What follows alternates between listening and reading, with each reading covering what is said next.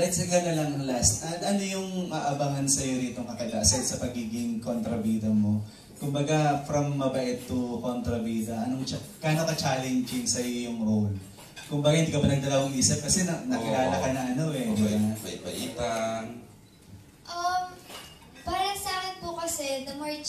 Challenging ang isang role, mas tinetake ko siya. Kasi gusto ko pong nag-challenge ako parate. Para mas napupush ako, para mas kakaiba yung lagi kong nabibigay.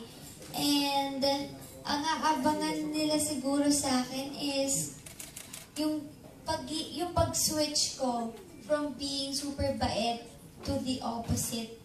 So, yun po. Last na lang, ah, nakita namin kung gaano kagaling din yung nanay mo dito, no, si Of Dimple. course, si Tita Ang Dimple, galing niyang maging kontrabida. Sobra po, sobra. Naghumingi ka ba ng advice sa kanya sa mga pagkakataong may eksena kayo? Um, or... hindi naman po, kasi I learned through observation po and ino-observe ko lang po si Tita Dimples na umarte and doon ako natututo din. Okay, good luck to both of you. Thank you so much po. Salamat, Principal. By the way, yung atake dito sa mga con- confrontation seems very millennial, no? Kaya Oo, mga yun kaedad talaga. natin. Yeah. So, Kasi si ano, puro young siya, di ba? Young. Erich, young Kim. Si Ero young Port Tocino. Charot. Hindi ka naka-blouse ngayon. Okay, next questions. eh, pero syempre, young port to sino rin. Wala Oh my God! young Port Tocino. siya talaga yun. Bigay natin kay Bix. Si Kuya, Kuya Michael Almacevic. Hello, pretty ladies like Hello me. po. Hello po. Ano, paano niyo nakuha itong role na to? Nag-audition ba kayo? Or Hindi, dinampot lang. Nag-audition na kayo? Pa, did you audition na? Alam ko, may kwento. Sige, kwento niya. Po kasi, hindi pa ako nag-audition eh. Um, tinext lang po kami na may story ko. So, ang pagkakaintindi ko po doon, ikukwento sa akin kung ano pong gagawin ko as a young role ulit. Kasi doon po ako nasanay. And nagulat po ako nung nalaman ko na isa ko sa mga bida. Doon po. Ah, Pinatawag ka na lang and then, um, ikaw na, yung Opo. nagkunento na sa yung role Yes mo. po, ganun. Sa bahay ni Sir Deo to, di ba? Opo. Yes, Ah, okay. Lai, Same lang din po. Tinext na lang po. Tapos nagulat ako na, oh, kontrabida, mama. Gulat kami. Ha? Gulat kami. Ganun talaga yung reaction tanggap ko. agad na.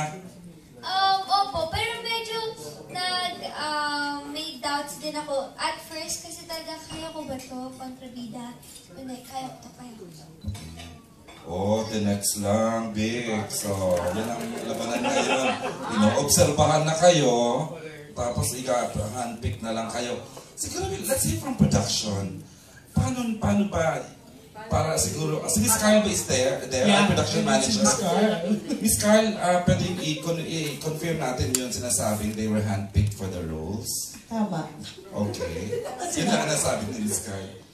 Um, di ba panahon na para mag-develop ng mga bago? Kasi tapos na yung Mara Clara, so now we're looking for new naman na i-develop. Correct. So. Si Francine's with us for uh, Eli, tapos TBS, tapos kasi Sir Deo talaga yung namili sa kanila. Okay. Na panahon na para i-launch ko sila. So, totoo nang they were Yes. talagang observed, handpicked for Yeah, roles. tapos coming din from Eli din si Andrea. Andrea. Actually, Andrea, matagal nang maraming dinidevelop tayong Mhm. kwento. Tapos, eto, nabuo yung kanya ng ginto. So, binigay talaga kay Andrea. Yung kay Francine, dahil katatapos siya sa Blood Sister. So, lahat na naka-work niya from Skyly, ako, yung mga... Talagang unanimous. Unanimous decision na si, bigay kay Francine. Wow, yun na. Alright, congrats! Ayan pala, totoo naman pala yung sinabi niyo. At natuto pala ako.